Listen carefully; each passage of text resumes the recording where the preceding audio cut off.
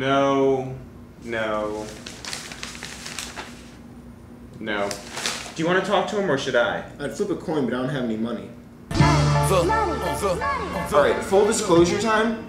We're not really accountants, and we're certainly not your accountant, but we are Jews, and according to Wikipedia, it's like the same thing. Lloyd, Mr. Banks, we're here to tell you that we're really sorry for throwing you that retirement party last year. We are. Yeah, I mean, not that the party wasn't fun. No, no, the party was a blast. And the cake was great.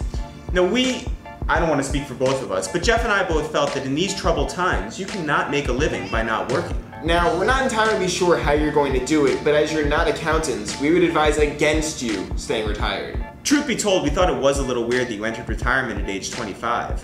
Now, if you were LL Cool J, it might make a little more sense. Yeah, but not just because he's old. No, but because we think he should stop making music. Clearly, only 44,000 people disagree. Right, I mean, I spent all yesterday looking through your records, and I thought there were only two of them.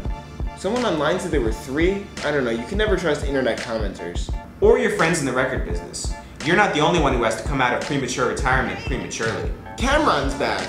Maybe you guys can cook up some beef. Get Alan Grunblatt on the phone. And if that doesn't work out, I'm sure you have other options. Everyone's always said that you have skills. You could be a house painter, Or a computer technician. or a criminal justician. Yeah, like Rick Ross. Ask him where he got his degree. We got our associates in accounting. Bottom line, we're looking to save the punchline king from becoming the breadline king. So start making cake, or you'll end up eating it.